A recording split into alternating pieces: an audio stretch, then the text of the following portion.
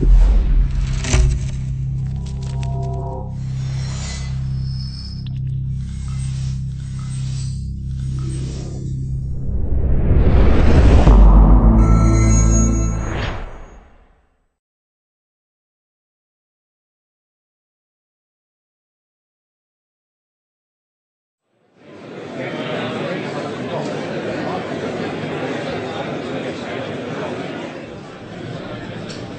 good morning, uh, everyone, and uh, a very special welcome to you all during this uh, centenary year and uh, one of the finest uh, alumni reunions I think that we've ever had.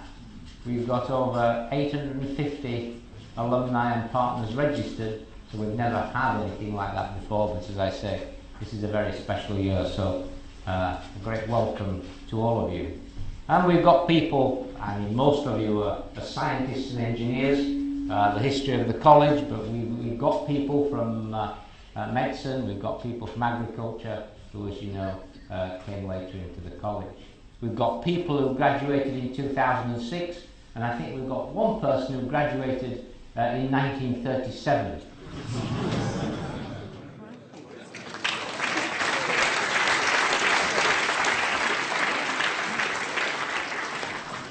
That is Mr. Robert Whitby. Is Mr. Whitby here? Oh, you're still in bed, I think. Anyway, it's quite remarkable that he's registered to come. And uh, I'm sure he'll be here when the real action starts. it's quite interesting, isn't it, that old habits die hard. When you were here before, you never sit in the front row and you're still not sitting in the front row. There, are a lot of events uh, organised today and tomorrow, so I hope you all participate in those. There's been a lot of hard work gone into it from the Alumni Development Office, from Fiona and her team. So I hope uh, there's something for everybody. And please wander around, look at the place. It's changed a lot, uh, and uh, get a good feel for it. Before I introduce uh, uh, Tidu, who will introduce David King, uh, Sir David King, who's going to be our guest speaker this morning, I just want to give you a, a feel for the college today. Some of you uh, I know probably up to speed, some of you less so. So I, I just want to spend a little time uh, doing that. So if we if we start then, uh, first of all, welcome back. Uh, it's great to see you all, uh, and it's uh, we, we've got lots of records, I'm sure, of all of you in the archives, and, and you see some of them there. Uh, the history, you, you all know the history, uh, but of course the constituent colleges really were, were driven by Prince Albert anywhere from, uh, I, I think, uh, before 1851, 1846, the, the Royal College of Chemistry, uh, but then the Royal College of Science was formed, the City and Guilds, the Royal School of Mines. But it's quite interesting at the beginning of the 20th century there's a great debate in London uh, about having a Charlottenburg. Interestingly enough, at that time Charlottenburg was the centre uh, of engineering and technology. So we wanted to emulate Charlottenburg. And, and so the, the great men at the time decided that, well, we already had it. You have it in South Kensington with these constituent colleges. If you put the constituent colleges together, then you will have a Charlottenburg. And that's really what drove the, the bringing together of the three constituent colleges which had already been brought to the South Kensington site. And of course it was called Imperial College because it was on the site of the old Imperial Institute, uh, which you can see here. And, and the only vestige that's left of the old Imperial Institute is the Queen's Tower. So they were formed, uh, started, and then nothing really uh, increased the size of the college except to organic growth till we got to uh, this period of 88 to 2000 when it was recognised that, that medicine was becoming a very scientific subject. Medicine was no longer the social subject that it had been. It needed to be close to science. So they took the medical schools out of the hospitals and put them into the universities. I think that was a very smart move. I think it was a smart move for medicine, but I think it was a smart move for science as well. It's changed dramatically, and I'll give you a feel for that this morning. But so, so during that period uh, of the 90s, then these, these medical schools integrated in, into Imperial College uh, and made it quite a different place. Then in 2000, the merger uh, with Wye College, uh, and then in this centenary year, because as you know, originally Imperial College was not a part of the University of London. The, the founding fathers had resisted that. They said, no, no, no, we don't want to be part of that lot. Uh, and quite rightly so, I guess. Uh, and, until it became a bureaucratic nightmare for all sorts of reasons that some of you may remember. And, and so in the 30s they joined the University of London. Uh, but to us now it became uh, uh, just a, a burden, if you like. So uh, it was time during our centenary year to leave the University of London, become an independent institution in our right, uh, and, and I think that was exactly the, the right thing to do. Uh, I just read you a quote here it's been a century of great achievement, and my thanks go to all the people, the staff, and the students whose work over the decades has enabled Prince Albert's vision to flourish. Those were the words of the Queen when she came on July the 7th uh, or 9th uh, to, uh, to actually give us our independence from the University of London and open the Institute uh, for Biomedical Engineering. As you know, the royal family have always had a close association with Imperial through Prince Albert, uh, and uh, that's the third time that the Queen's been here in almost uh, as, as many years. So today, uh, Imperial is a very different place. If you look at these uh, league tables, which people take a lot of notice of today, you know, in every walk of life, we've got league tables today. Here you see them in education.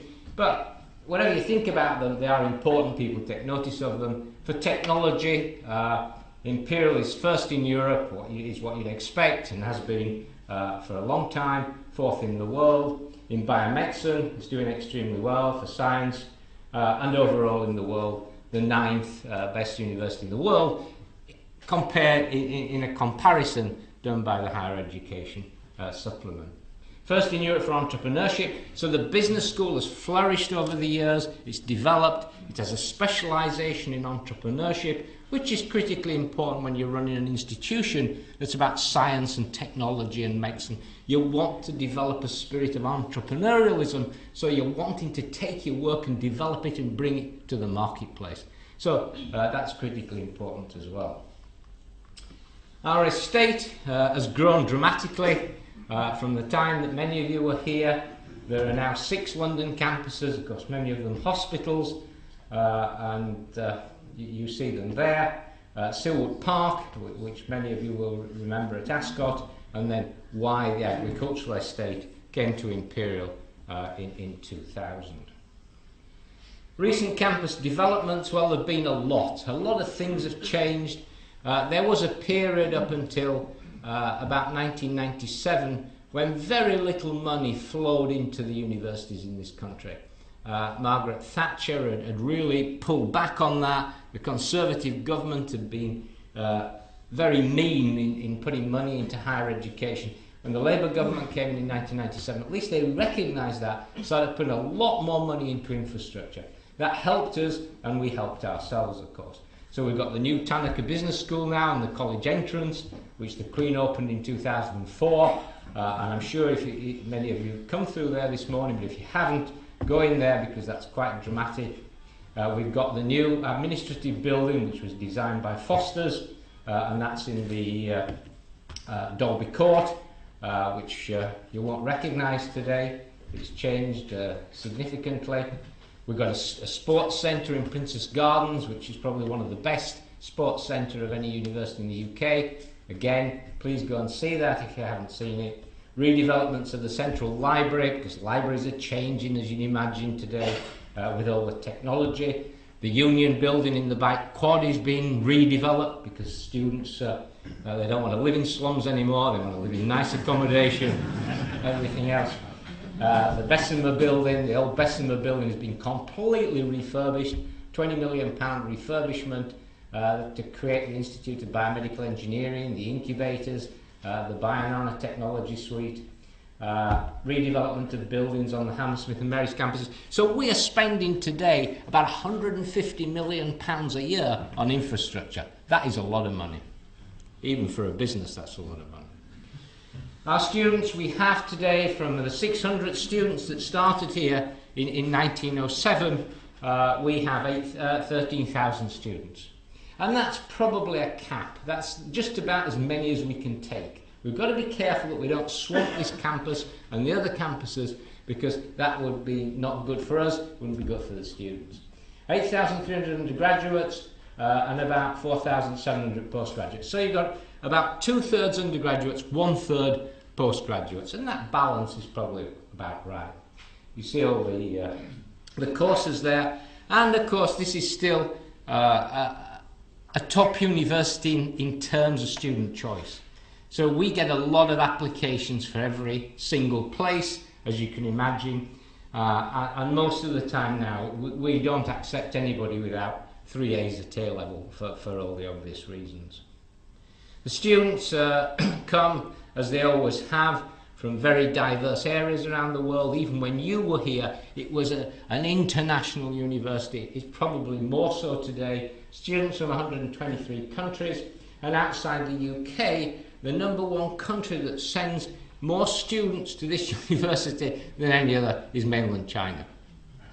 That has changed even in my time. When I arrived here in 2001, there were 60 mainland Chinese in this university. Today, there are 1,700. Because they want to do technology, they want to do hard science, they recognize that that's the future of their economy. Whereas we've decided that, that media studies are the future of our economy. so we're not interested in hard science. So that, that, that's what changes it. It's amazing. But you see, 32% of our staff are, are non-UK nationals as well, uh, and uh, 34% of the alumni now live overseas. So it's a very, very diverse institution. Uh, I think coming to Imperial is good for you uh, for all sorts of reasons, but also good for you when you go out to work, uh, because in a, uh, a survey last week, we now the second highest graduate starting salary in the UK. Uh, and you can see that. And a lot of our students today, of course, because of physics, because of engineering, because of mathematics, because of chemistry, they're analytically trained. The city want these guys. They want these people because they want them driving these algorithms to drive all these fancy mathematical formulas uh, for making money. You see what's happened to the city now. Our alumni, just talking about alumni, we have 140,000 former students uh, on the database. And there are probably 120,000 of those alive today. So those are the people that, that have graduated probably since 1907. So you can see the, the, the breakdown there. So we, we're making a big effort now to get an alumni database, to get everybody registered, uh, to uh, get in touch with everybody, to keep communicating. But last week I was uh, uh, in Madagascar with Rio Tinto, the mining company, of course, who employs a lot of people who came out of the, the Royal School of Mines. I met a guy in Madagascar, turns out he'd been at the Royal School of Mines, but he hadn't heard about any imperial for 25 years. So he's not on the database, I can assure you. Uh, so there must be a lot of people we're, we're still missing somewhere, but we're, we're trying hard. Of course, a lot of famous people have come out of Imperial, and, and that's important. We've had CEOs, we've had chairmen, we've had uh, all sorts of people around the world. Trevor Phillips, of course, chair of the Commission of Racial Equality, who did chemistry here, some of you remember him. Roger Bannister, who was the breaker of the four minute mile, was at Mary's. Uh, and uh, Brian May, uh, the lead guitarist of rock, came here to do astrophysics, if you remember. But then he, he recognised that playing a guitar would be much more lucrative, so he set, shot off. 37 years later, he's come back, finished his PhD, and now got his PhD in astrophysics. So he will be coming back to the, to the commemoration ceremony in spring to receive his PhD. So that'd be interesting.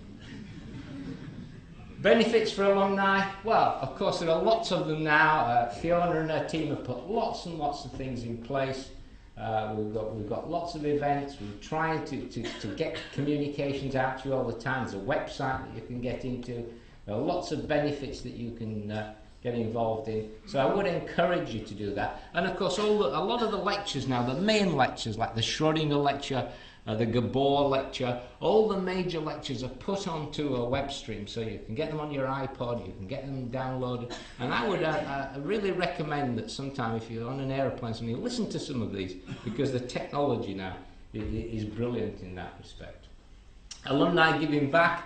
Uh, I mean, uh, there's been a tremendous response now from alumni around the world to, to recognise they were here, they benefited from being here, uh, and they want to give something back. And that could be quite small, but it, I, I think it's just the, the, the, the involvement that's important. So we've got the Students' Opportunity Fund that has done extremely well. Uh, you know, money coming in in, in, in £50, £100, £200, people making those commitments, and that helps students from around the world who, financially cannot afford to come to Imperial College. They're very smart, they're very bright, but financially they find it difficult. So we then, using this fund, can help them. We pay for their tuition, pay for their accommodation, and then we can get some very bright kids who would not have come here otherwise by using that fund.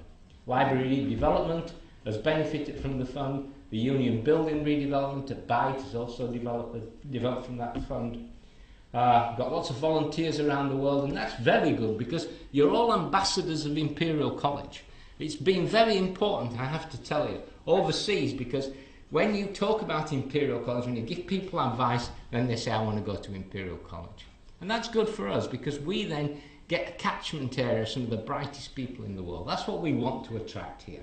That's critically important. If we're going to run a residential university, then the students must be bright because the, the scientists, the, the lecturers, the professors, they want to be stimulated all the time. They don't want to teach uh, people who have no interest, they want to teach people where they're getting feedback. So the, the brighter the, the student, the better the, the entire organisation. So uh, thank you very much, all of you, for, for participating, however you have, in, in one of those areas. Just talking about our staff, uh, today we have 8,200 staff, uh, 3,000 academic and research staff, and remember that most of the staff, the, the research staff at Imperial, are research active. You know that. You come here, you don't just come here to while your time away, you come here and you work hard. And, and so most people uh, not only teach, but are, are very research active. There are 3,000 support staff. This is a big operation. The turnover of Imperial College today is over 600 million pounds a year. That's a big operation. So it needs to be run professionally. And then you can see uh, the rest of it. And in, terms of the, the research staff, 75% of the academic staff submitted in the last research assessment exercise in 2001 were, five, were in five-star departments. That was, along with Cambridge, that was the highest uh, in the UK. Now the RAE is coming up again this year, uh, and again, obviously, it's very important to do well in the RAE because that determines our funding going forward for the future. Past achievements, uh, 14 Nobel laureates have, have come out of being associated with the Imperial College. You'll recognise some of these. Uh, Alexander Fleming, uh, uh, and uh, Porter, uh, all in, in the, the clinical biological area. Gabor and, and Abdus from physics. Geoffrey Wilkinson from chemistry. But of course, you know, there were, there were five other Nobel Prize winners from chemistry. There was a time here in the 60s when you had uh, two Nobel Prize winning uh, chemists, you had a prize winning uh, biochemist Chain in the, in the biochemistry building, and uh, you had uh, Denis Gabor. And that's amazing that there were four Nobel Prize winners on this site at one time. Must have a hell of a problem, but it, it would be it would be a nice problem to have. Uh, and that's changed because of, of all the, the environment's changed, everything's changed. But uh, I think Imperial's done extremely well. Of course, we've got a lot of science stars of the past. Uh, George Finch, who, who was involved in developing breathing apparatus for high altitudes. Henry Tizard, that many of you will uh, remember, of course, worked uh, during the war with the radar. Eric Laithwaite, who, of course, many of you will probably remember Eric and his, his, his apparatus and, and showing this thing running along this path and this idea he had, and people thought he was mad, and eventually went mad. But, uh, but in today in Shanghai, there it is, wonderful. You get on the, the, the maglev train in Pudong, and you're at the airport in seven minutes. I mean, it's unbelievable. 400 kilometres a, uh, an hour. And that's the, the maglev train that basically Eric Laithwaite worked on. David Potter was here in physics, and of course he's the guy who basically set up uh, Psion, and he's been very good to us. He, supported the Maths Institute very significantly. And then William Ham- Hamilton and his genetic, gene-centric view uh, on evolution. But today, we still got those stars. Obviously, they're coming through the whole time. John Burland, he'll talk to you this afternoon about the Leaning Tower of Pisa. He was critically important uh, in, in that, and as you know, at Imperial Soil Mechanics has probably been one of the, the, the strongest departments in the world, soil mechanics, and, and John Burland is one of those people. Magdi Yacoub, uh, who, pioneered heart and lung transplantation, very famous, and, and, and many others, and, and uh, Tiny Maini, who, who's uh, Tidu's brother, uh, is, uh, along with Marc Feldmann, uh, won the Lasker Prize uh, a couple of years ago. Lots of recent achievements. Uh, you're going to hear today again, those interested, from John Pendry in the top left-hand corner and, and Ara Darzi in, in the bottom right. Ara Darzi, a famous surgeon, a famous robotic surgeon, uh, but the poor fellow has now become a minister of health. Uh, but uh, he, he might say a few words about that to you. Uh, this is a, a green racing car uh, developed by the students in mechanical engineering, electrical engineering, and that's a hybrid, so it's, uh, it's carbon neutral, uh, fascinating system. But of course, lots of things go on all the time. Recent research, of course, the research at Imperial is still groundbreaking, that's what you'd expect, it's still current, it's dealing with work problems. Uh, just the top one there uh, is a project to develop an all-in-one cooker, energy generator and fridge. And that is to, to improve the quality of life of people in developing countries. An enormous amount of work going on here in infectious diseases, malaria, probably the largest concentration of researchers working on malaria in the world now at Imperial. So it's changed quite significantly. And then the bottom one uh, is, is the, what you see there is the compact muon solenoid. It's not compact at all. Uh, it, it, it's a 12,500 ton digital camera uh, that is sat in 100 metres in the CERN tunnel that is part of the Hadron Collider. They're going to turn this fella on next year to try and find, one of the things they're going to try and find is the Higgs boson, uh, to try and understand where the matter is in the universe. But this is being led by Jim Virdee, out of physics at Imperial College. This is part of the biggest experiment in the world. I mean, absolutely fascinating. And that thing there, as I say, is absolutely enormous. So you can see somebody standing. You can just see them as a speck. Being put together with a, with meticulous work of putting a watch together. Uh, and this program's been going on for 25 years. But that's absolutely fascinating. Interdisciplinary working. What you, as a university, we developed in departments, as you know. Uh, uh, and then we have these, these institutions. But what we've had to try and do is bring people to work together. It's critically important today that physicists and chemists and engineers and biologists and clinicians work side by side. You're not going to solve any of the world's major problems by working in silos. You've got to use your, your knowledge, you've got to use your skills together. And so, in, in, what we've tried to do here is create different institutes, different combinations. The Energy Futures Lab brings people all over Imperial who are working on energy. The Grantham Institute for Climate Change, everybody who's working in that sort of area can now be part of that. The Institute for Systems Biology, people from all over the, the, the campuses are part of that institute. The Institute for Biomedical Engineering, the same thing. Electronic engineers, mechanical engineers, clinicians, mathematicians, you name it, they're all working together. Critically important today uh, if we're going to get on top of some of the big problems. An enterprise culture, I said that before, it's always been true. Imperial was the vision of Prince Albert, who wanted a university in the UK where you didn't have to sign up to the 39 articles of the Anglican faith before you went there. So he said, let's have a university where you can actually do something useful and work with industry and commerce. So that's always been true of Imperial. That enterprise culture still exists. 58 spin-out companies, 90 commercial agreements, etc., etc., etc. Innovations is now floated on the stock exchange, uh, and so that's a company uh, floated on the exchange that Imperial uh, have the major shareholder of. The market value of that is 150 million, and that's raised a lot of money for, for Imperial. So that's critically important again, so that we become more and more financially independent uh, from the government. And then finally, uh, our links with business. We received the Supporter uh, British Industry Award, uh, the best uh, in 2006. And that's very, very important, I think, for a university like Imperial that does see itself as a very practical, pragmatic institution. Uh, and you, I, you've all been involved in that. You've all seen that, I'm quite sure. You came here to get an education that, that would put you in a good position to go out there and, and change the world, to do something useful.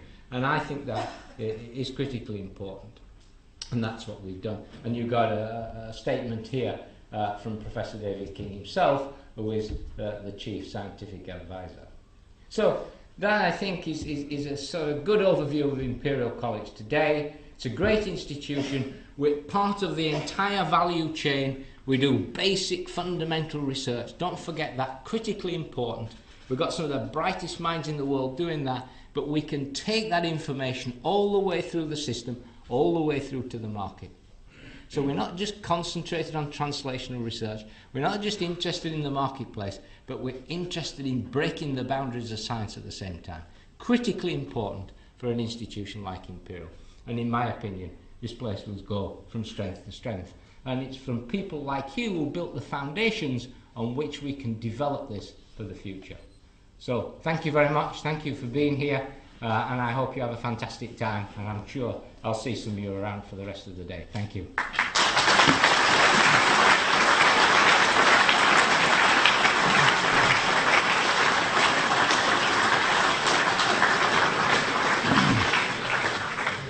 I'm now going to introduce Dr. Tidu Maini, who, who was also uh, an alumnus of Imperial. He studied uh, engineering here in the Royal School of Mines uh, I managed to persuade him to come back here in 2002 uh, to be one of my team, uh, and he's been a great supporter. So, Tidu.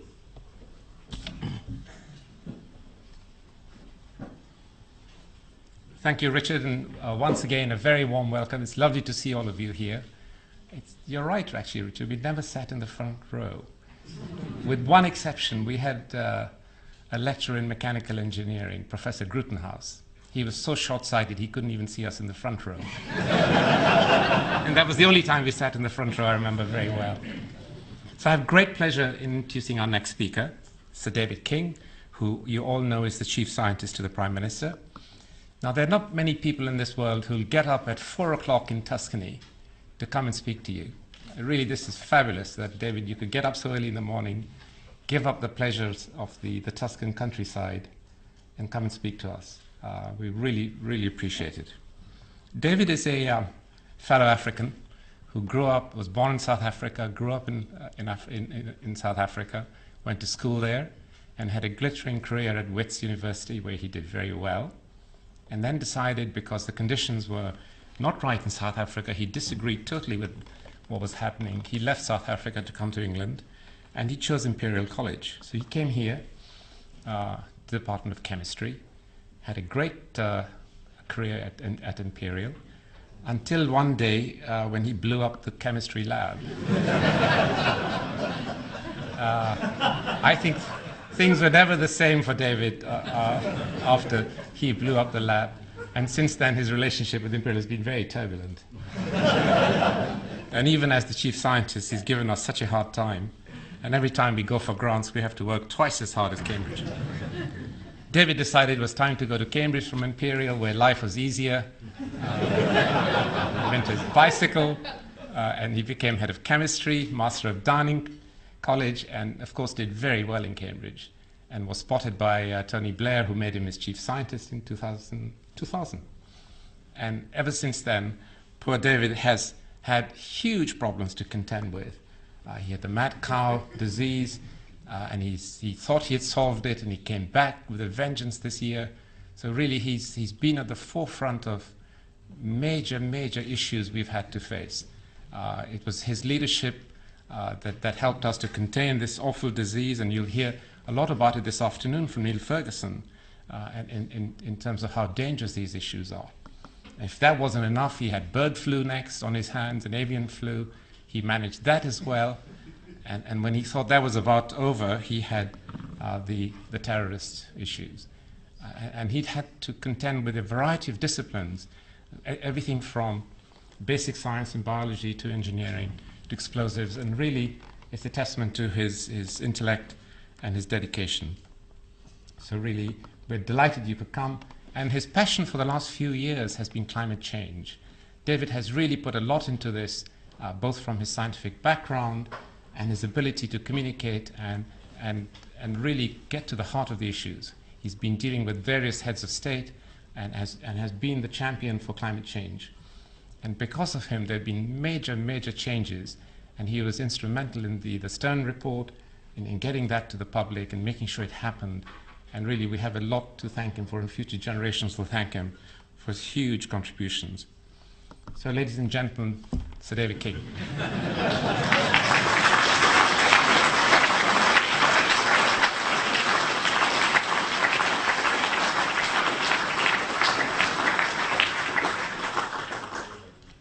I'm still going to say uh, very warm congratulations for your 100th, uh, 100th anniversary.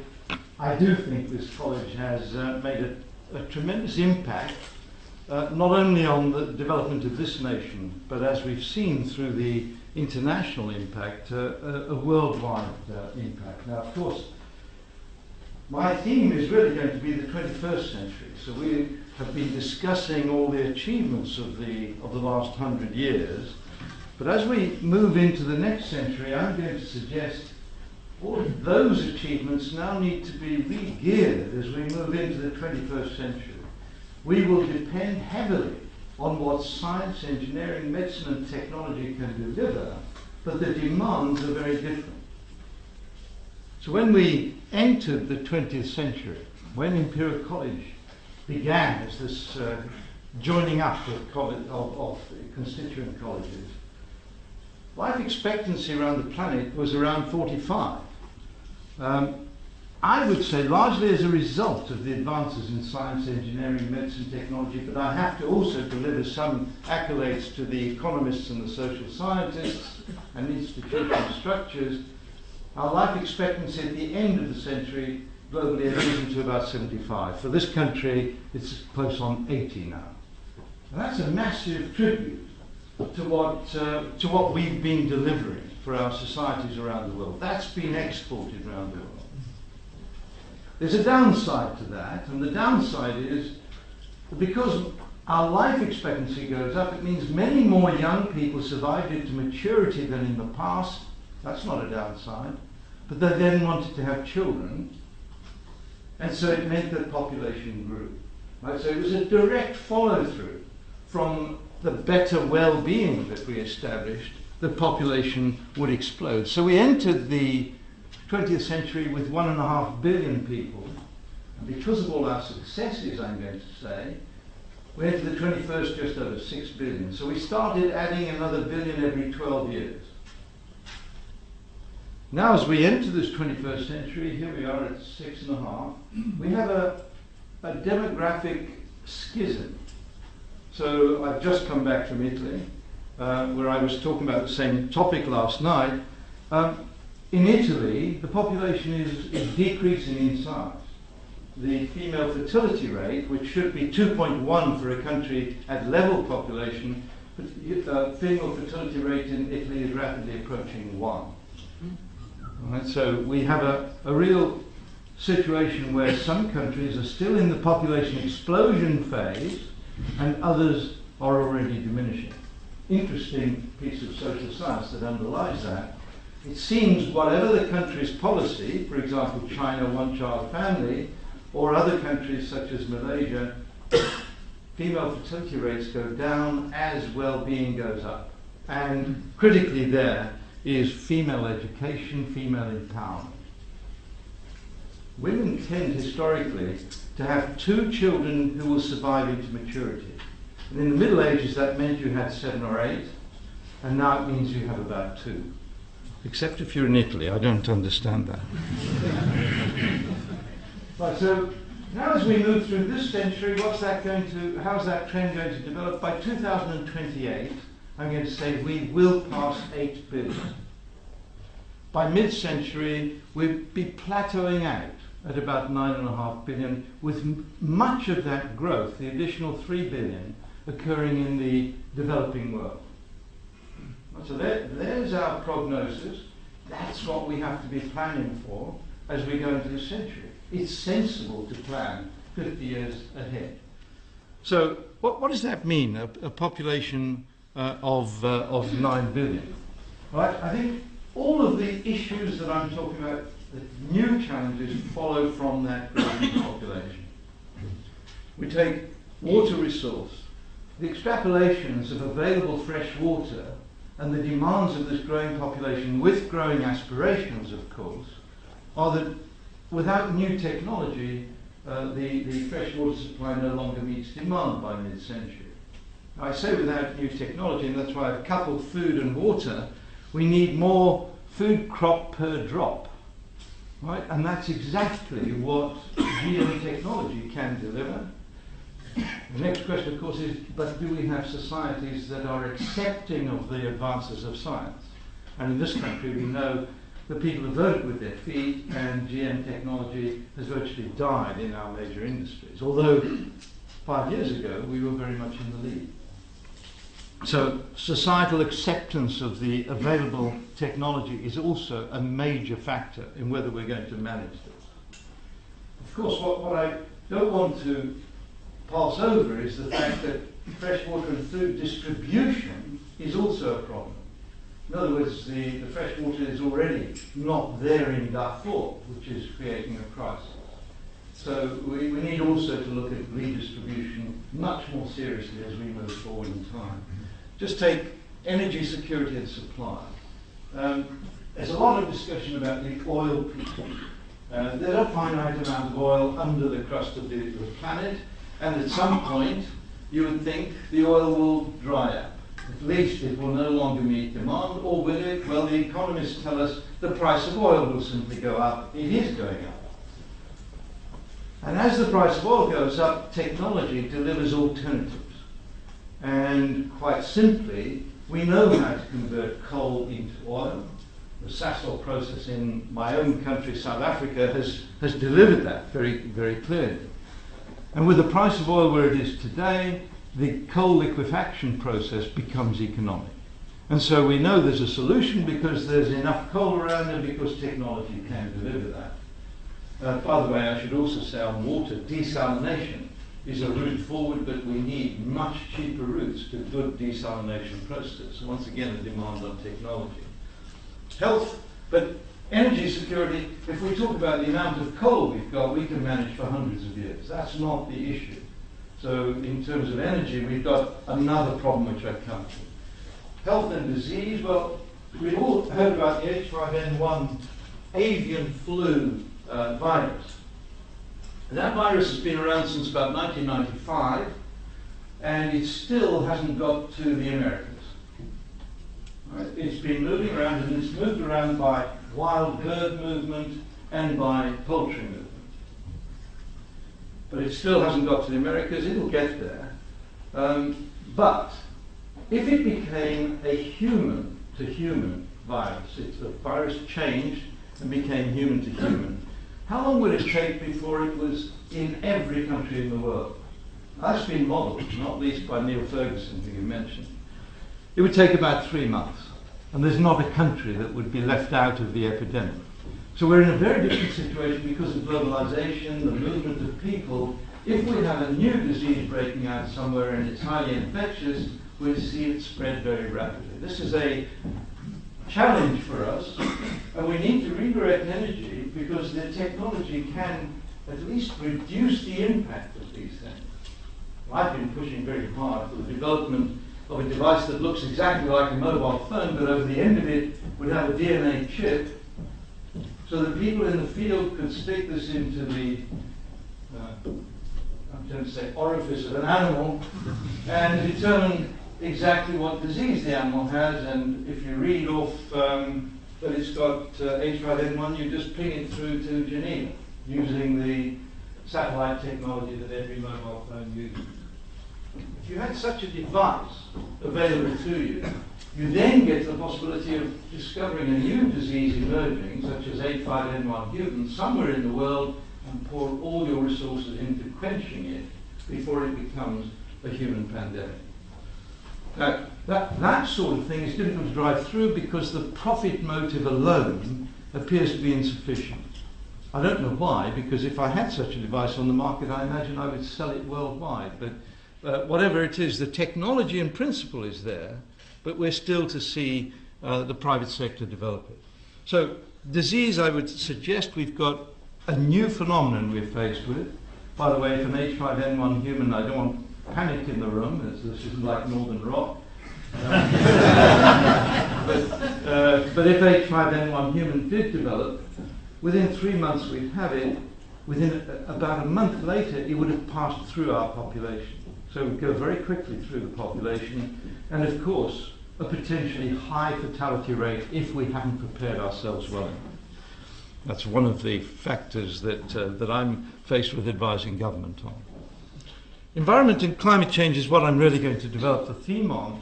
This is in a different category from the others. The other problems can be dealt with with, uh, with technological developments and through the marketplace. But here with, with the environment, we have a situation where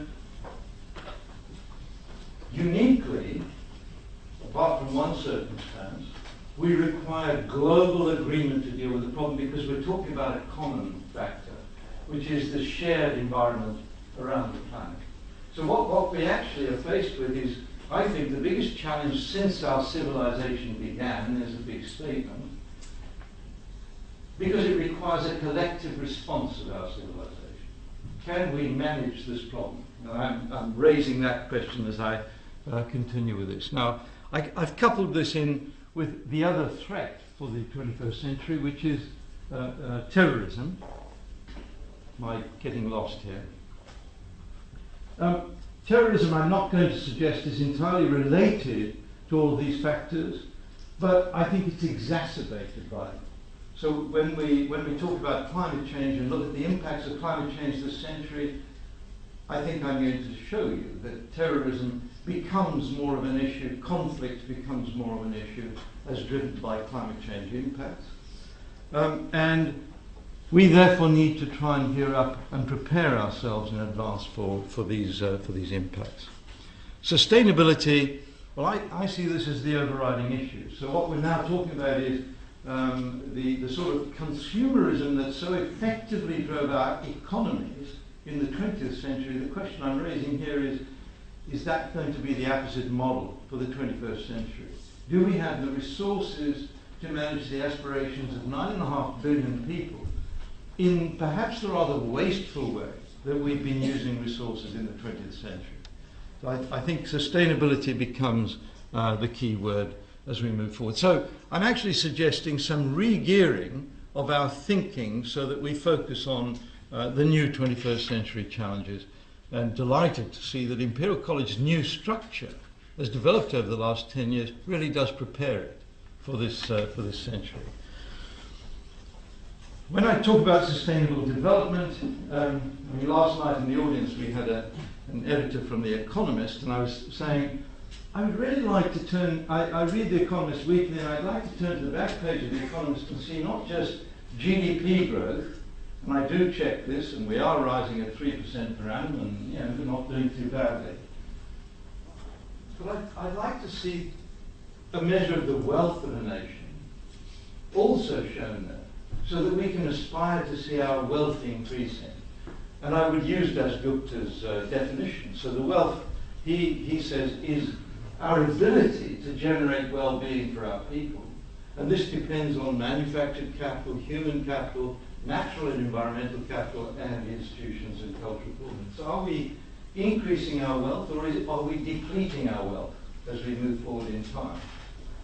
Of course, if you look at the, the environmental and natural uh, capital, you could be talking about coal, oil, or gold reserves under the ground. So as you deplete those reserves, according to this, your wealth is diminishing, unless you put that wealth back into the first two items, the, uh, the, the manufactured and the human capital. But so you need to reinvest from the profits of mining if you're really going to continue to grow your wealth. And that's quite a, a good exercise for any country. But at the same time, what about environmental? What that means is that we need to, in the economist terms, internalize the external costs of any degradation to the environment. And then, then we can start talking, I think, sensibly. This, by the way, is not an empty request. I'm challenging the economist to think hard about this because we all tend to look at GDP growth as the be all and end all. And when I say we all, perhaps you don't, but all of us in government watch that number very closely. Now let's get back to, to the, the climate. The Earth's atmosphere, well, we know uh, that um, uh, uh, over the period of development uh, since that industrial revolution in Manchester not too long ago, our period of development has impacted quite seriously on the, on the atmosphere. I was in South Africa lecturing uh, at the CSIR in Pretoria last week. And from the lecture theatre, as I stood up, I could see out the window Johannesburg in the distance, and the pool of pollution overlying the city immediately told me, and I didn't know this before, but I made it as my opening comment, that South Africa hadn't yet introduced regulations for car exhaust systems. So although the platinum used in the back end of motor cars everywhere else in the world comes from South Africa, they haven't yet regulated uh, car exhausts. And yet every city where those regulations are introduced is cleaned up uh, pretty well spontaneously. So we are learning how to cope with our environment. The marketplace doesn't deliver that, we have to regulate. Um, so part of this process is what is the better regulation system, and the car exhaust catalyst is a very good example of that, because even today in Europe, the standards expected from next year's catalyst are always pressure, pushing down on parts per million emitted from the back end of a car. So we're, we're learning all of that, but one thing, when I first came to Imperial College, my first port of call from South Africa in 1963, we still had a smog in London. So I managed to experience that. And then coal fires were banned in, in London, and the smogs came to an end. We understood, although we didn't use the word, that carbon nanoparticles were driving smog. And so in, incomplete combustion of coal was the key factor in the, in the smog. So we just went for complete combustion because we all thought that carbon dioxide was colourless, tasteless and odourless and therefore surely was a pretty harmless gas. Now, of course, so we, have been managing all of these other things, but what we haven't managed is the amount of carbon dioxide in the atmosphere. Just before I move on, there at the top we've got the stratosphere, and we know the importance of the ozone layer in protecting us uh, and other mammals from uh, the uh, radiation from outer space, and the, the, way that was depleted through our use of CO2. Now, the Montreal Protocol is the one prior example where we did manage to make a collective action. All nations took that seriously, and by the middle of this century, all the indications are that the ozone depletion will have recovered and we will get our protective layer back. So we can, we can actually manage these problems, although I'm not going to pretend that managing CFC emissions is in the same class as managing the use of fossil fuels. Now, just to underline the, the history of the, of the development of uh, our understanding of the warming of the planet, um, this, this figure enables me to go back to 1827 to the French mathematician Fourier. So Fourier simply says, he was, uh, let's say, quite an arrogant man, and he said, listen, I've got enough knowledge that I should be able to calculate the average temperature of the planet. I know what's heating it. Imagine the planet was cold, and it was suddenly exposed to the sunlight, it would warm up, and it would keep warming up until the amount of radiation going back into space exactly balanced the amount of sunlight warming the planet. So he said the amount of red stuff going out equals the amount of yellow stuff coming in, and the amount of radiation going out he knew was a very sensitive function of the temperature. The fourth power of the temperature. So he thought, I've, I've got a very good handle on the temperature. I'm going to have delta T, T cubed. so basically, he calculates it and he finds a temperature of minus 15 degrees centigrade. But he also did a, a, a experiment. He said, what if I shut off the sunlight? That means all this radiation goes pouring out into space, cooling the Earth's surface. And in 10 hours, it would cool, calculation, integration, another 15 degrees centigrade. So what he knew he'd calculated was a nighttime daytime temperature difference of 15 degrees centigrade, and his uh, absolute temperature was too low. So it didn't match with reality. Now, what he realized he had done was calculate the properties of a sphere in space that had no atmosphere. So this was appropriate for the moon, but inappropriate for the Earth. So he then puts in the blue stuff in the figure, and uh, of course, being Fourier introduces a coefficient. and his coefficient is simply, and quite smartly, the amount of the radiated energy that's absorbed by the atmosphere, thereby warming up the atmosphere so that the blanket gives a higher average temperature and also means that the nighttime daytime temperature difference is smaller. So the blanket is still there at night and keeps the earth warmer. He then finally publishes his paper uh, and he gets the nighttime daytime temperature difference roughly right, but his coefficient is his fudge factor. He's fed the coefficient in to get the numbers right. And so um, uh, we now come to, of course, a British scientist who says, hang on, uh, we can't just have this fudge factor in there, uh, let's, uh, let's measure this. And Tyndall then measures the amount of radiated energy absorbed by the atmosphere. Tyndall, 1860, um, first of all, cleans up his sample of the atmosphere, careful British scientist, removes all the minority gases, carbon dioxide and water vapor, and he finds the coefficient is zero. Right, so what Tyndall then famously does is repeat the experiment with dirty air and he gets the coefficient correctly. So he had discovered that it was the minority gases, carbon dioxide and water vapor, and not most of the atmosphere, oxygen and nitrogen, that were absorbing that radiated energy. We, we would now express that differently. Homotatic, homonuclear, diatomic molecules do not absorb any infrared radiation. So you need a slightly bigger molecule like water or carbon dioxide. So that, that little story is roughly getting us to the point where we arrive at uh, Arrhenius, 1896, who says, hang on, we're burning fossil fuels. What if we change the amount of carbon dioxide in the atmosphere?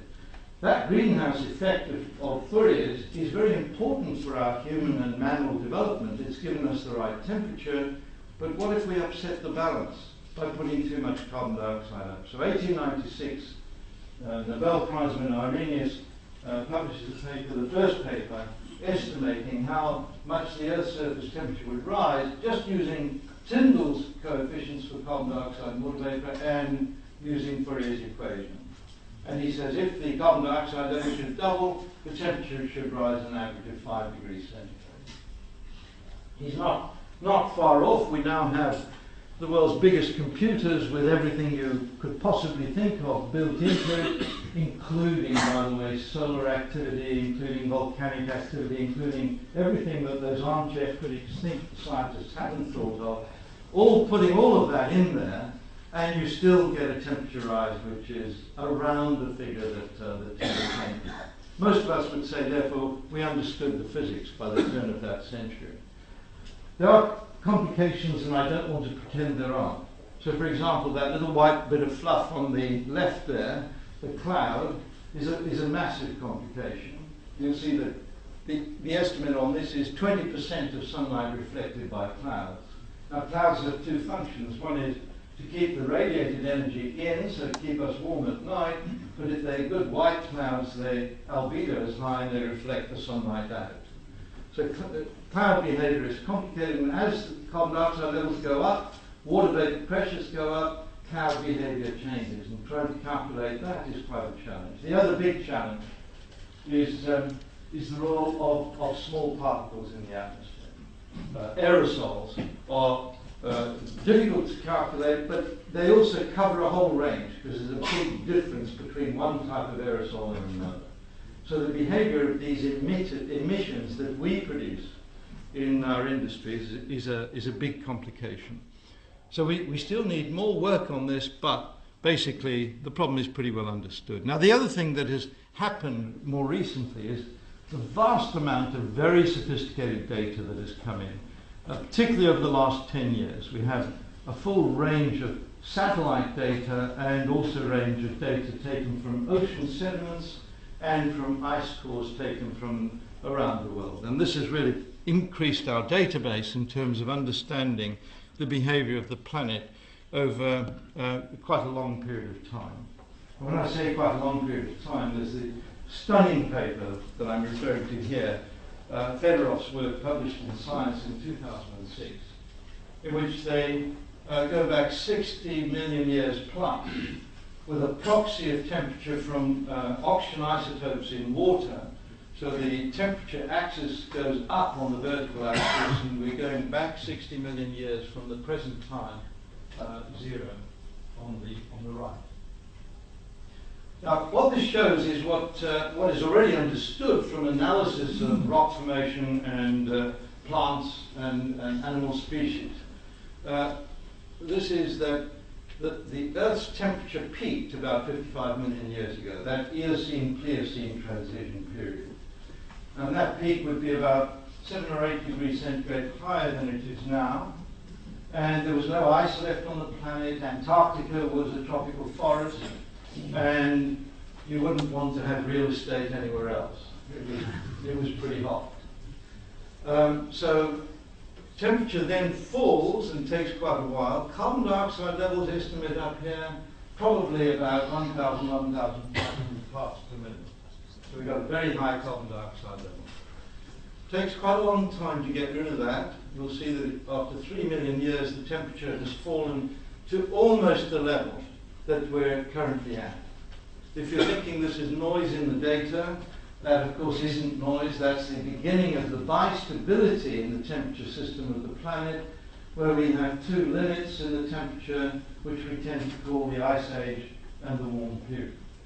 We go into these oscillations um, as the stability uh, hits this, uh, this regime. Clearly a big nonlinear driving factor.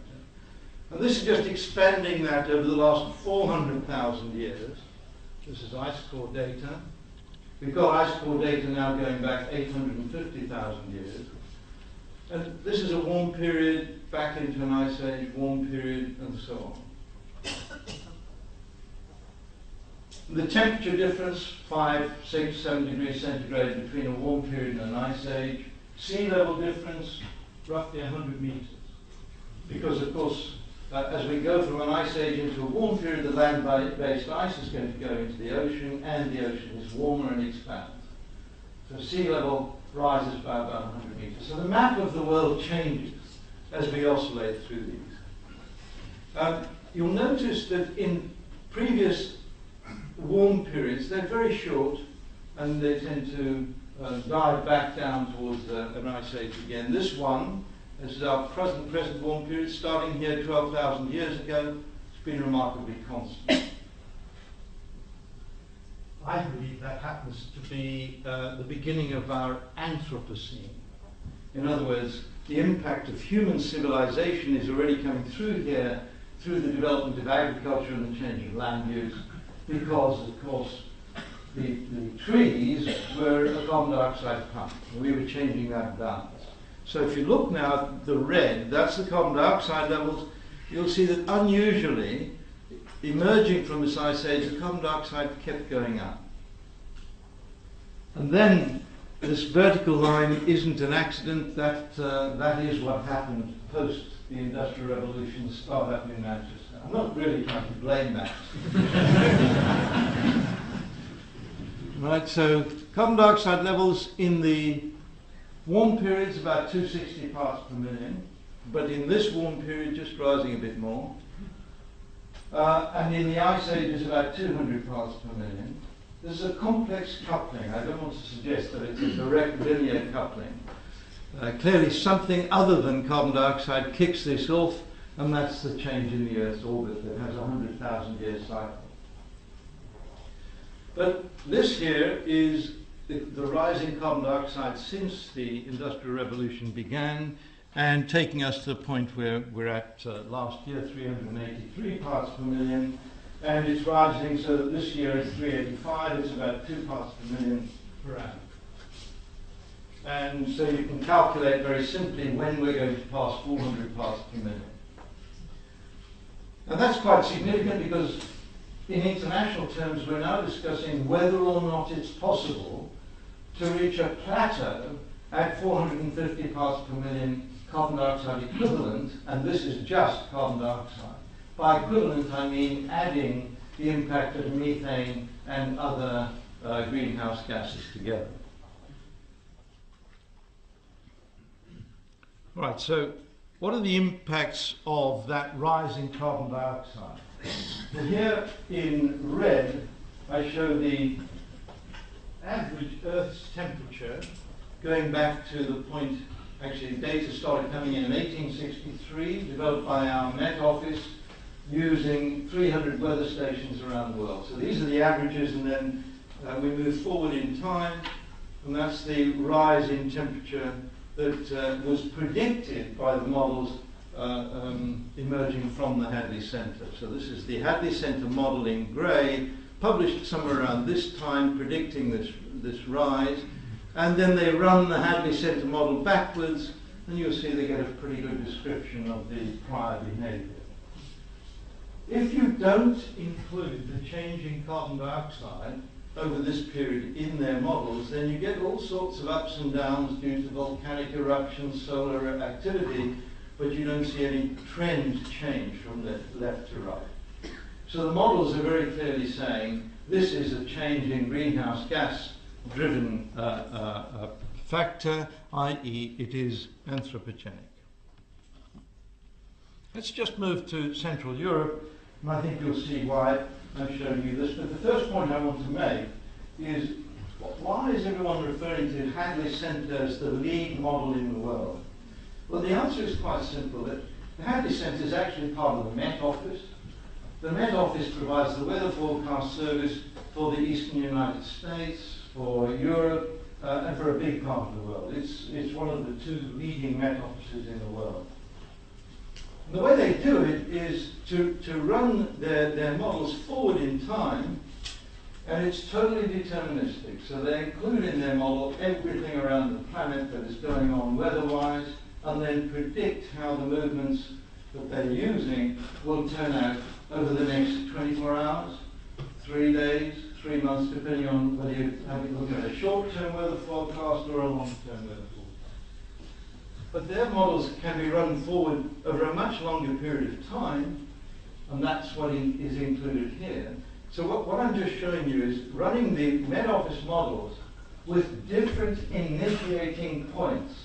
So when I take an, an initiating point, it's taking all the data from around the world and reinitiating the model say at 6 o'clock this morning, and running it to predict what the weather's going to be like for the next 24 hours. So they reinitiate the program. But if you take several different reinitiations, you get all these red plots up here. And of course, what I'm showing you is this is the weather, the trend is the climate. So within the Met Office model that predicts your weather is the climate change uh, uh, as, as part of that deterministic process. So, of course, what they have to do is feed in a scenario for future carbon dioxide levels because the carbon dioxide and other greenhouse gases are included in their model. Now, what I've superimposed in black here is the actual Central European uh, summer temperature. And you'll see, of course, the, the Met Office models are not predicting the weather, but the trends are going pretty well. And then we hit this extreme here. Now, the models sometimes show extremes, but uh, at different points in time. So this, the hot summer in Central Europe of 2003, which is that point, was not predicted long term by the models, but you can nevertheless see that it was predicting extreme weather events would lead to very hot summers in Central Europe. Now, was that hot summer a climate change event?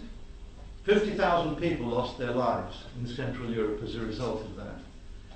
Well, if you look at this, you'll see the hottest summer in the 20th century was uh, 1947 in Central Europe.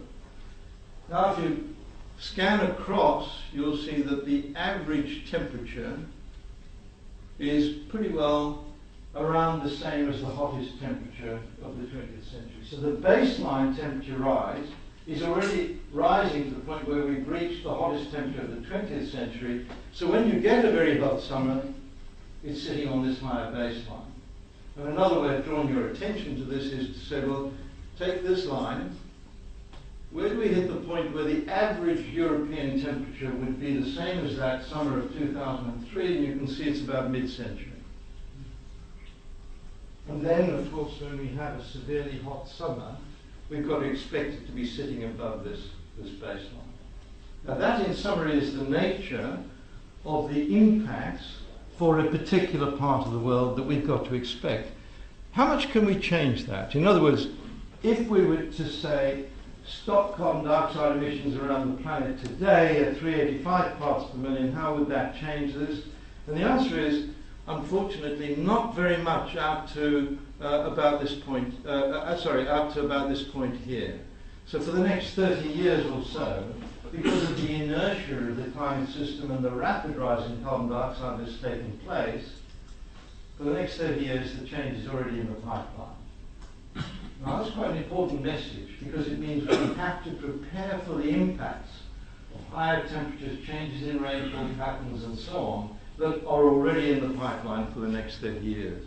But when you go beyond this point, now the predictions become very strongly scenario dependent. Now here's, here's a little problem uh, for a scientist working uh, in government.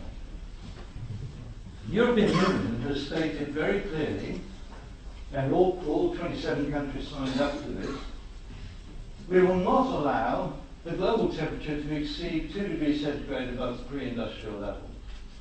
Right, now you, you come to a scientist and you say, what do we have to do in terms of carbon dioxide level to stay below 2 degrees centigrade? Now my, my answer, I'm afraid, is, well, we shouldn't be where we are now. if we were having this discussion in 1950, we might just about manage that. Because and this is some data I asked the Hadley Centre to produce. This is a probability distribution function for an ultimate level of 450 parts per million of carbon dioxide in the atmosphere. So this is the relative probability, that's the global temperature change. And you can see, and, and many people just read off the maximum. That's not a terribly meaningful thing to do, but it peaks at 2.2 degrees centigrade, even for 450 parts per million, and let me stress carbon dioxide equivalent. So this is now adding in all the other greenhouse gases. What is the median? Well, the median is actually 2.5 because of the tail. This is a non-Gaussian curve. So the tail on the distribution is saying already the median is about 2.5 degrees centigrade rise above the EU stated objective. But what about this big tail here? Risk management is a key part of my job. And risk management doesn't mean just look at the most likely outcome. It also means you have to look at the low probability, severe impact outcome. So even at 450 degrees centigrade, Uh, sorry, 450 parts per million, shouldn't we be planning for a potential rise of around 3.5, 3.7 degrees centigrade? That would be the 95% confidence limit is around 1.7 degree temperature rise. That would be great. but all the way up to 3.7. So, if it's right for governments to manage risks to their population on this 95% confidence limit, then we ought to really be planning for a minimum temperature rise of, I say minimum temperature rise, planning for a potential temperature rise of 3.7, even of this well-behaved global system. We're not going to manage, this is a tough thing to say, to stay below 450 parts per million with the best will in the world, and I mean those words. So if we go to 550 parts per million, once again, look at the tail. It's going out. We're creeping up into regions where the impacts, planet-wise, really become extremely uncomfortable. All this really says is, for goodness sake, let's get agreement to stay as low as possible. If we look at the impacts, we can see that we're really courting catastrophe if we go beyond 550 parts per million. So my advice to government is we ought to be trying to get international agreement to stay as close to 450 as possible and certainly not to exceed 550 equivalent. These property distribution functions are about as good as international science can currently do, and I have to keep repeating that to politicians. However hard you try, you can't squeeze that down to a narrower distribution function, not at the moment.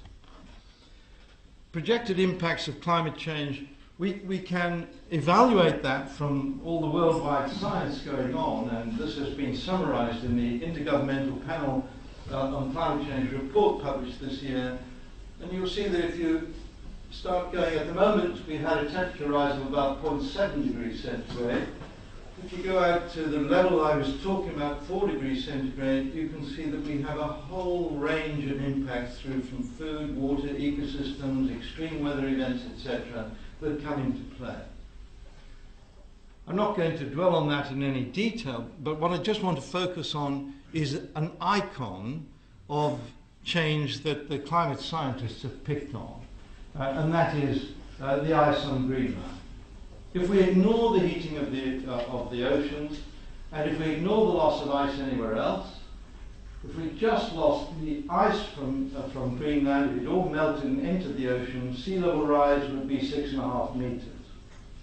And of course, London would, uh, would no longer be defensible. Defendo. So, this is something surely we don't want to, uh, to test our models against we can all agree let's try and keep the Greenland ice in now, the Hadley Centre have tried to model this, and I, am afraid my caricature of their initial attempt to model it is rather like taking a block of ice out of a refrigerator, placing it on a table, and modelling how long it would take to, to melt and what the conditions would be for its melting. In other words, what temperature rise would. Now, actually, what's taking place on Greenland doesn't match that very well and I, will just show you what is happening. And then I'll show you with uh, a beautiful piece of, of science. I, I think it's absolutely stunning. Um, what I'm showing you here is the change in the gravitational field over Greenland as a result of the loss of ice. Right, so how do you measure the change in the gravitational field? You use two satellites. One satellite is changing its altitude for example, if it goes over Mount Everest, it ducks down and then goes up again because of the change in the gravitational field, higher mountain range. The one that's going up and down, the, the second satellite is monitoring the front satellite very accurately, so the second satellite has to be going over a flat region such as the ocean. And using these two satellites, um, these gravitational field diagrams have been produced covering a period of, uh, of around five years. And the data were really quite surprising because it turns out we're losing. You, by the way, you can see the, the blue area maps out, if you can just see Greenland behind there. The blue area maps out Greenland pretty accurately. I think the, the scientists are pretty happy with that and it gives you a global figure. Any other figure, such as altimetry, would say, well, this piece of Greenland is losing ice, but this piece is gaining, whereas this is giving you a gross integrated figure of the loss of ice. And it's losing ice, if you look at the two figures below, at the rate of about 200 cubic kilometres per annum. That's summer ice, 200 cubic kilometres per annum. Now, there's an awful lot of ice there in Greenland. So it's going to take quite a while before that uh, gives rise to that six and a half metre uh, rise. But the worrying thing is that it's happening much faster than any of the modelers had predicted. Is that irreversible? We don't know yet. So obviously these measurements will continue. Why is it happening? Well, the answer is because instead of like that block of ice on the table, gradually creating a pool around it, uh, what actually happens is that the, the runoff melt creates rivers. The rivers create waterfalls or, called moulins, and these run right down to the base of Greenland, the land below, and start lubricating between the ice and the land. And so you get premature calving of big chunks of ice. So that wasn't included. So we have icebergs being generated from the land as a result. Right, so a pretty neat challenge for the modelers to see if they can create moulins and then uh, uh, remodel uh, the conditions for Greenland. Um, observed sea level rise, now you can use altimetry. So this is satellites accurately measuring change in sea level over a period since 1993, and you'll see that uh, the sea level change is, is, uh, is fairly consistent. Those skeptics who tell you that they've been sitting on the Maldives and hadn't detected a change in level rise, uh, it's a wonderful place to sit. I'm sure that's a good reason for doing it. Um, what, what you need to know, of course, is that with all the circulation of water in the ocean, the oceans aren't like a tub of water absolutely flat. They're up and down and all over the place as this data shows. And what you need to, to, to do is use a satellite so that you take average measurements all over the planet. Uh, and when you do that, then there's, uh, there's little doubt. Uh, the sea levels are rising, and again, this fits with the, the model expected. So the sea level rise is pretty close to the, the model expectation. What does that mean? If you translate that into um, creating inhabitable environments from previously habitable environments as we move forward in time, i.e., number of people who would be displaced from their normal place of living, well, you see that the numbers are frighteningly large. So if you, if you, if you look at the, the, the top figure here, you'll see that uh, we're talking in 50s, uh, 50 millions, and it depends where you're looking on the planet. Japan, uncomfortable. Uh, India, very uncomfortable. The whole of the Malaysian uh, uh, area, uncomfortable as well. Now, th this is a very crude map. Uh, it's accurate, but it's crude because it, it would make you think that Britain is fine, and I'm coming to the point of telling you. Actually, it's not all that good. I suggest that those linear macroeconomic models which the economists are endlessly discussing, will not pick up what we're seeing here. In other words, the point at which confidence in the globalized economy becomes stretched by people shifting from their normal place of habituation. The challenges to our globalized economy from the geopolitical destabilization that this would imply are simply massive. And I don't think any economic model captures it. These are big nonlinear uh, impacts, and, uh, and confidence is what the, the marketplace is all about. Can we manage it? Well, the top uh, uh figure here is business as usual. If we could stay down below 550 parts per million, then we can reduce the problem very substantially. And, uh, this is a slightly confusing graph because now this is the degree to which these scenarios are mitigated. So if I take the, the blue line here, it means 80 to 90% mitigation. You, that means the impact is one-tenth of what it would be if we take the business as usual scenario. That's a massive argument for international action. What that's really saying is that in the longer term, 2080 plus, we can really manage this problem very substantially. We can reduce its impact on human population. There's the UK. I, I ran a foresight program beginning in 2002 picking on, on the, the country and the world's best scientists, engineers, social scientists, economists who worked with us, uh, uh, just over 100 of them, for two and a half years to analyse the risks to the UK um, out to 2080 using the best data available from the climate scientists. First country in the world to have had this analysis conducted. We have now taken the same group of people out to China, and they're working in the Yangtze Basin area. Uh, uh, an agreement was signed with the Chinese government. What this shows, this is the left hand is the best scenario, so we stay at around 500 parts per million.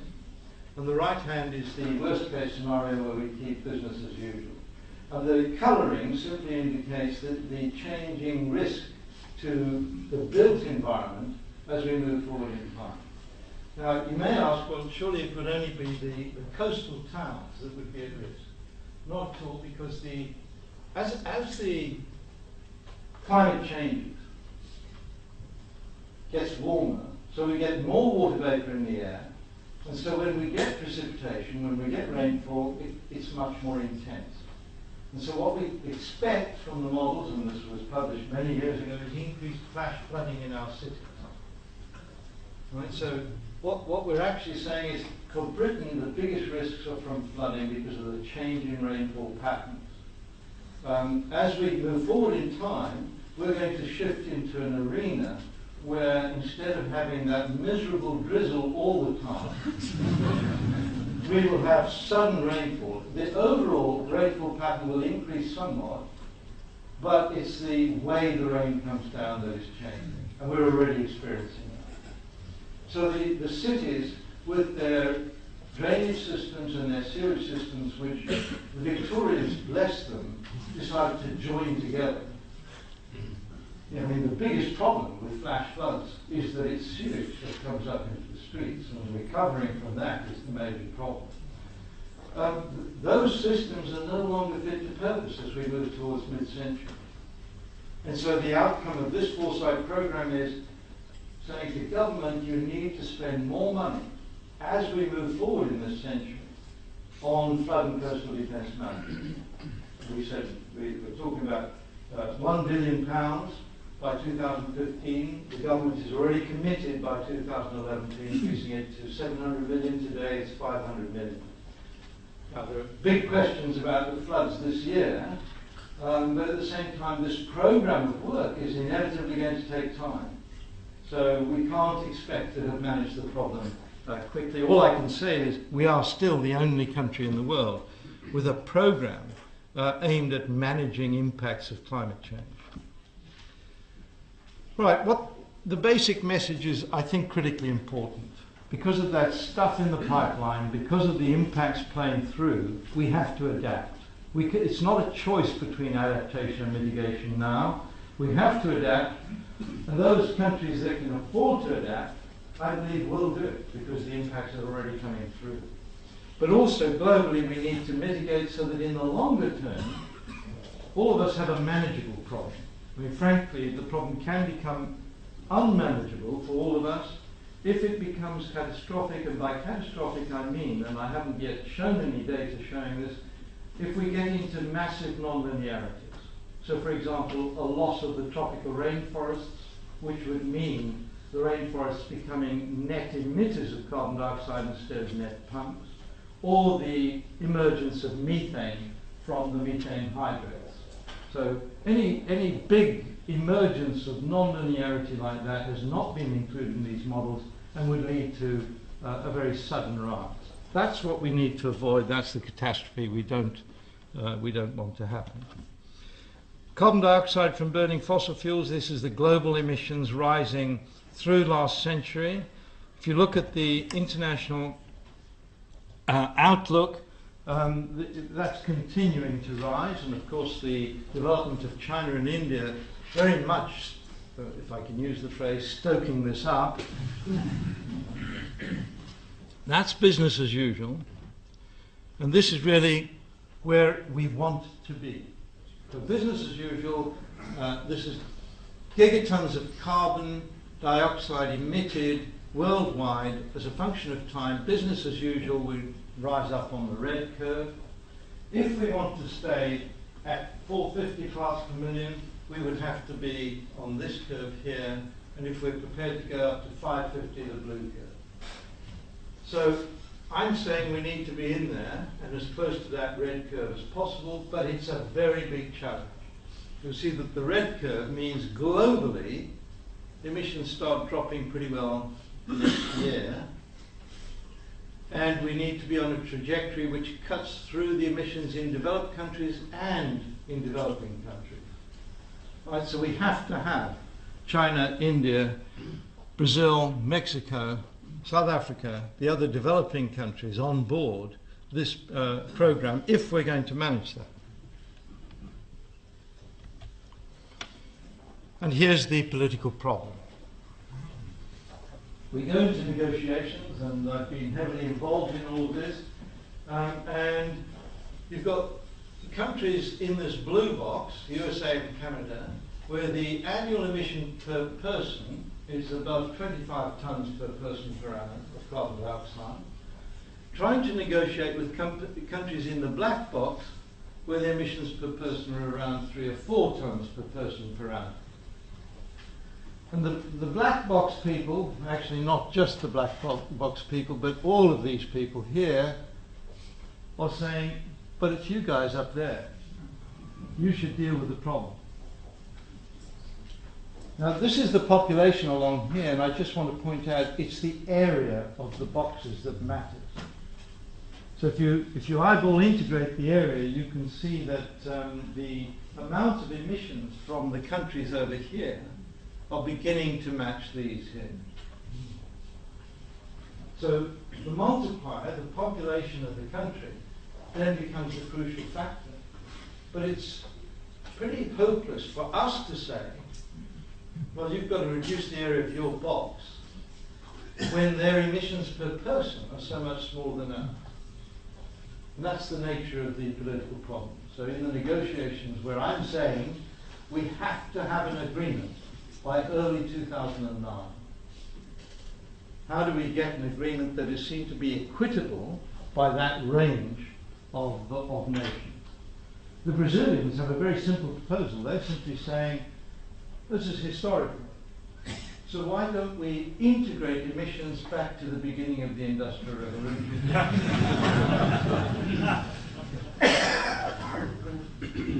Actually, if you think about it, not a silly uh, suggestion, but would the United States, would Britain, would Germany agree to that? You know, it, it would mean that we really have to take the substantial burden. Now, the first element of an agreement would be to say, let's extrapolate to the end of the century and see what, what the emissions per person, uh, sorry, just one point about these boxes.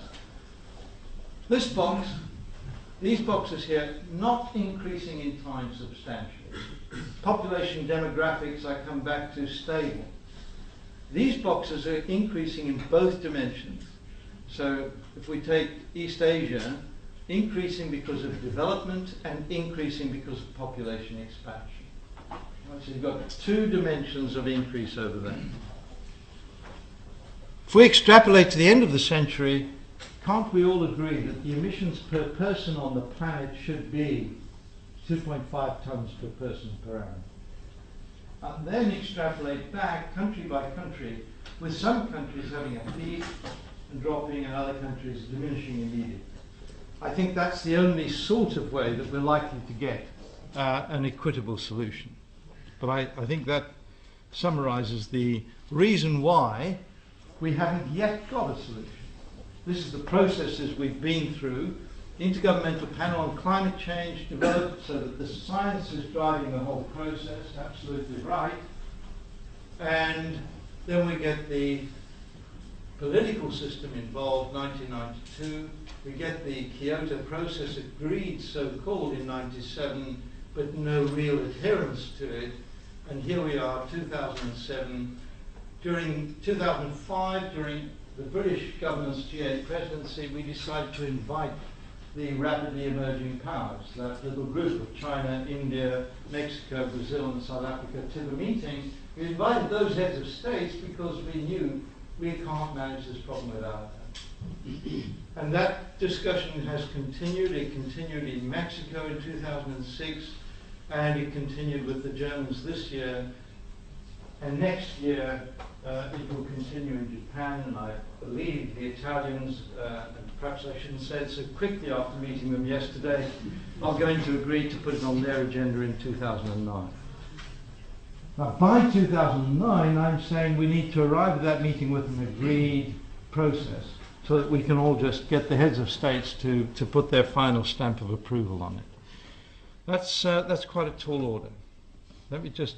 Th- th- this is really to say, well, actually, the developed nations have already got into hand a system. This is uh, America and Britain economy growing here, where they've decoupled economic growth from carbon dioxide emissions.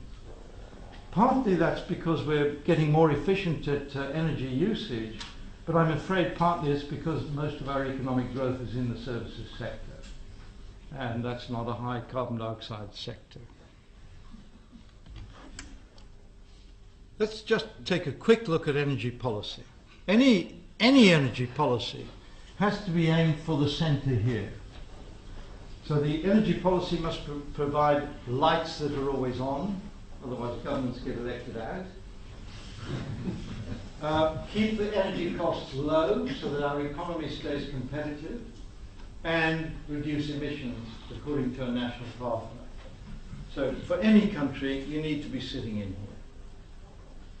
And the UK has put out two white papers in a relatively short period of time. The first in 2003, where we announced we were going to reduce our emissions by 60% by 2050. And then, frankly, in 2007, we revisited it because we realized we hadn't actually uh, worked it out in fine detail. Right, so it's a much bigger challenge than was initially thought.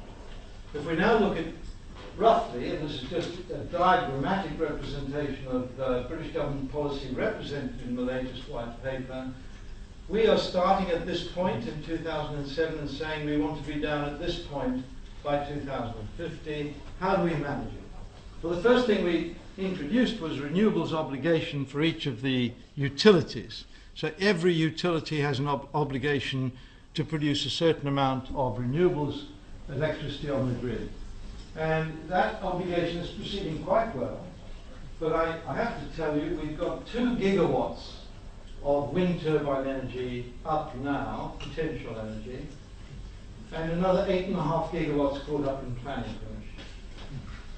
So while 85% of the population say, yes, let's have uh, more renewable energy, as soon as you ask them locally, and can we have it here, we get the usual answer.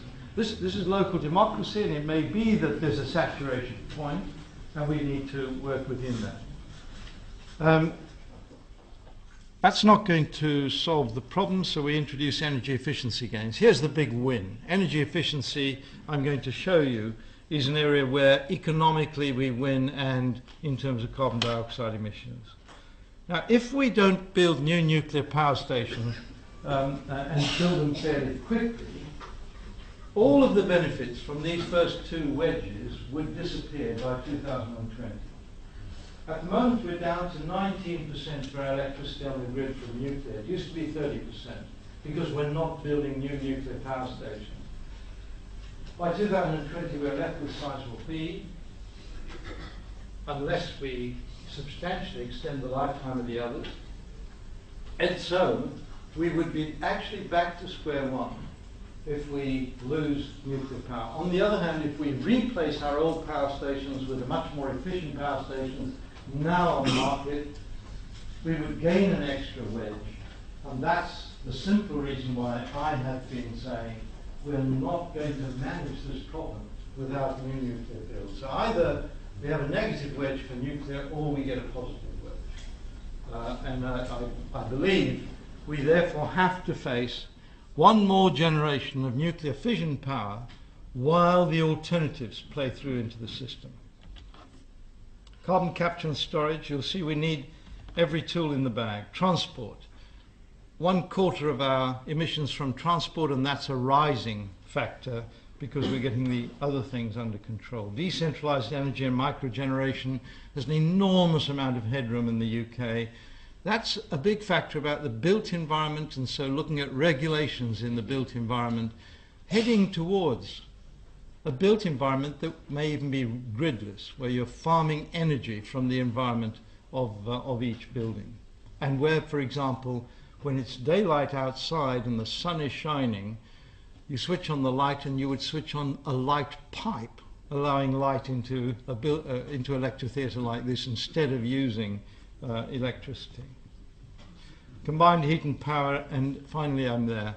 We, we really have to include heat into this if we're going to manage the whole problem. Uh, geothermal energy has potential, but here I'm simply putting together available technologies with one exception, carbon capture and storage. And th- this is why the government is now starting a, a demonstration on one of our coal-fired uh, power stations to retrofit it for carbon capture and storage, where the storage will take place into a saline aquifer. If we just do it into a depleted oil well, we won't learn anything new. We really have to find out whether we can use saline aquifers. And if we can, that opens up uh, the use, the continued use of coal as we move forward in time. Around midpoint here, or before, we will have international pressure on the developed nations to go beyond that 60% reduction. And we need to prepare for that. So where's the extra wedge that appears? Well, that extra wedge comes from further developments. Further developments. well, you're laughing. I was going to say the further developments are up to you. this is the engineering and technology community, and I'm challenging that community to go out and develop uh, uh, these technologies. And there, there, there is so much headroom. If you just take photovoltaics, uh, we're still fixed on silicon photovoltaics, necessarily expensive. Plastic, ceramic photovoltaics would completely transform the field. And yet the amount of work on silicon compared with others is massive. Why don't we start working on more practical materials for photovoltaics? We've got some good examples of uh, sustainable cities. Um, I'm going to simply say the government is looking into this in very fine detail because there's a massive win-win there. There's, there's a new built environment and also how we transform the old uh, built environment in terms of energy savings. Um, I've run a foresight program uh, on this. It's still running. We have uh, a, a lot of very smart people who will help government to develop the building regulations that are required to, to carry through this objective. Very busy slide, and I should apologize for a busy slide, but I'm sure with an intelligent audience like this, I, I think this is critically important. It's put out by McKinsey, um, and the, the objective here was simply to line up what was needed by 2030 in terms of removing carbon from business as usual scenario in order to keep us below that 450 parts per million objective. So we need to remove 27 gigatons of carbon by 2030 if we're going to manage that program. And then it looks at the cost of each of these efforts to re remove carbon dioxide. The cost is given on the vertical scale in euros per ton of carbon dioxide equivalent. So we're looking at all greenhouse gases. I suppose the surprise for anyone first looking at this is this is the zero cost line. So if you look at the cost of abatement by introducing insulation improvements in the built environment, it's a negative abatement cost. Right? And the negative abatement cost is 160 euros per tonne. That's the economic benefit to you, the consumer, to the industrial company, etc., from simply putting through energy efficiency gains of different kinds.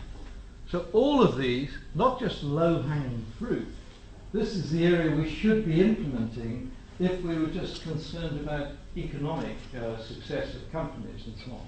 And as a matter of fact, BP introduced carbon emissions trading around its uh, companies about five years ago.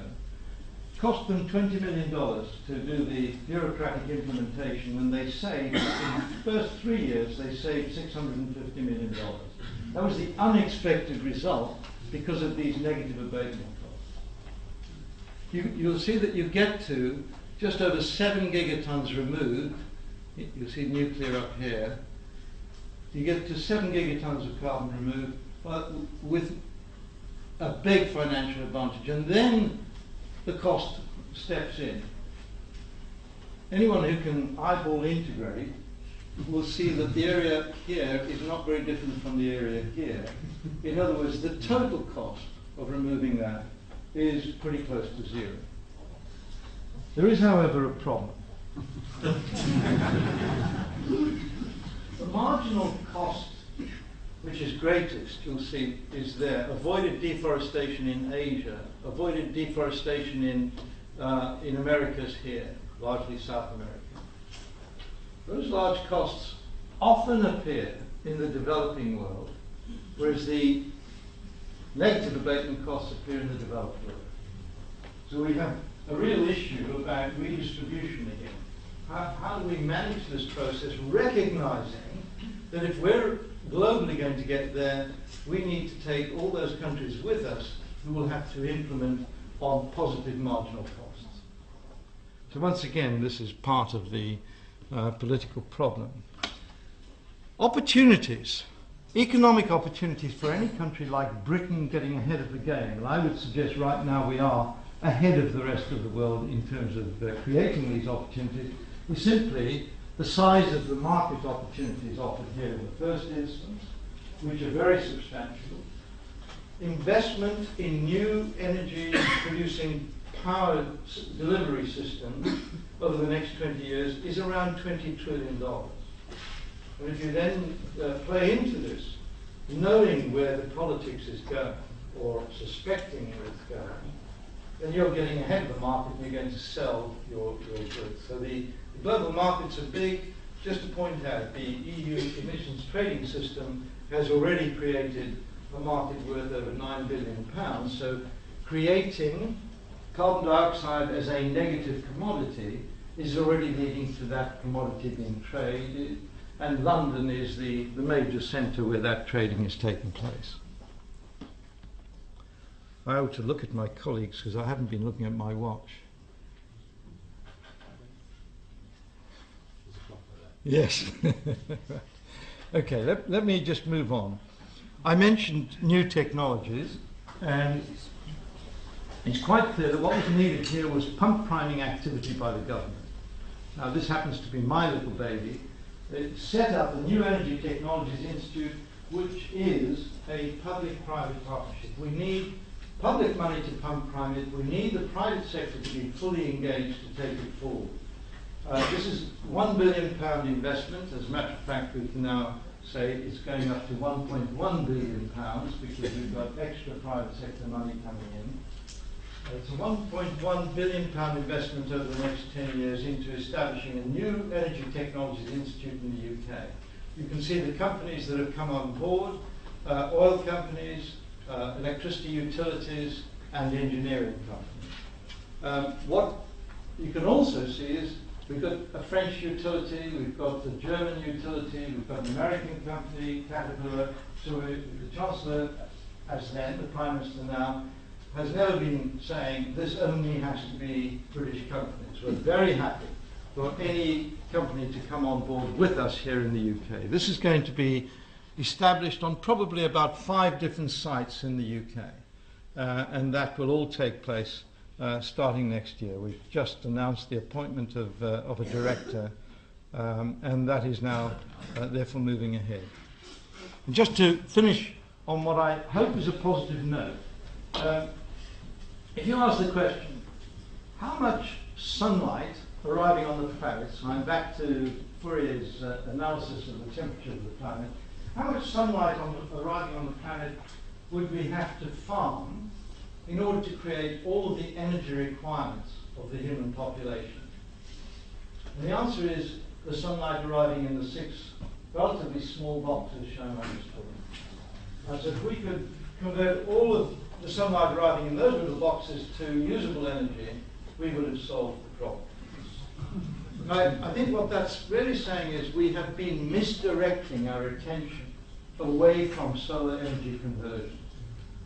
There are a couple of good projects going on in the world. There's one in Spain using very simple technology, vast mirrors that are moving to pick up the optimal energy from the sun through the day. We need to see considerably more effort in trying to farm solar energy as we move forward in time. So I think the problem is doable technologically. I come back to where I started.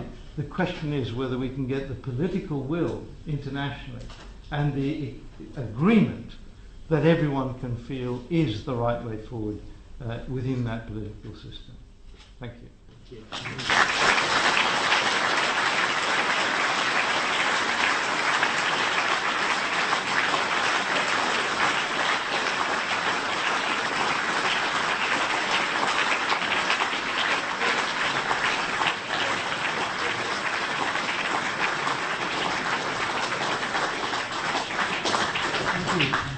As we're approaching lunchtime, we'll take just a few questions, two or three questions, please.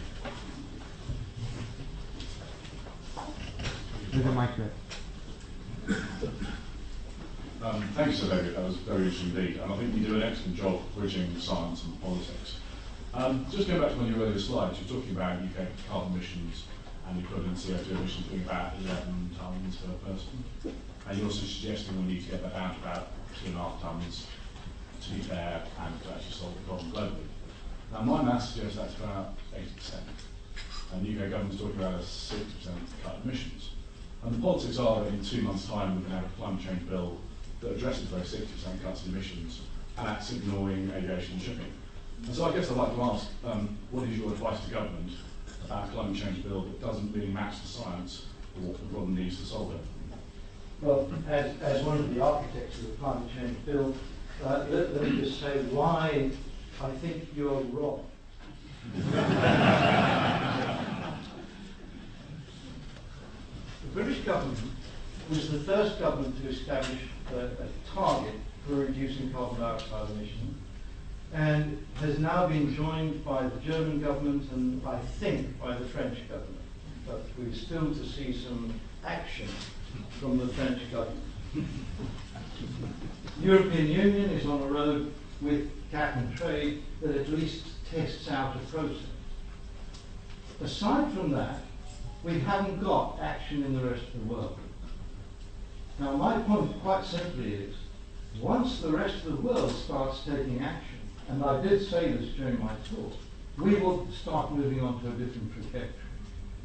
Right, so I think your figure of 80%, I would agree with, but I'm simply saying, for Britain to say we are going to reduce our emissions by 80% without watching what the international community is doing is not on. I mean, basically, we, we made that announcement of 60% in 2003 before the Exeter meeting, and when everyone thought the 550 parts per million was a good figure to go for. We haven't changed that, basically, because we're still in this leadership role in the in- international negotiation. And I have spent the last five years traveling around the world, the last week in South Africa, trying to persuade other governments to announce trajectories that we, they can bring into the international negotiation. So far, without any success. So I, I don't think there's any shortage of leadership from the British government, which was our intention. We were trying to break the deadlock in negotiations by making that announcement. And so far, we haven't succeeded. You shaking your head. We've taken the United States with us in the Heiligendamm Agreement, which essentially says, if you read it, all of those signatories agree to what we're trying to do, but it doesn't actually establish a mechanism. While, while I'm answering this question to you, may I just say, any international agreement has to have, first of all, a global target that we're all agreed on aiming for. Between 450 and 550, as close to 450 as possible, is what the British government is saying. Secondly, nation by nation, a trajectory that achieves that objective by the end of the century. Thirdly, we have to have a fiscal process that drives it through. It's no good having the idea that you will punish a country if it doesn't uh, match up to this, but moreover, by creating a carbon dioxide commodity, you engage the market. So and we know this works. And then fourthly, we must have a, an agreement which deals with the developing world, both in terms of adapting to the impacts of climate change that are coming, and also transfers technologies so they can leapfrog into the low carbon technologies that we're developing. Those four elements are de minimis as far as I'm concerned, and that's what I've been going around talking countries about. I have never found in those negotiations that they come back to me and say, when the British government announces it's going to reduce by 80%, we'll talk to you. That's not the issue. We have already put ourselves in that leadership position. Final point I make, and quite simple, because you're asking a very good question, is Britain cannot solve this problem on its own. We need internationally to reduce emissions by 80%. One more question. I think we're very close to lunch. Gentleman, the red flag.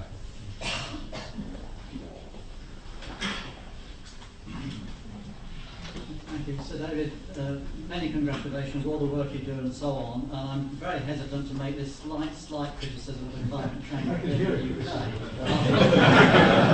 but what I very much liked was your wedge diagram.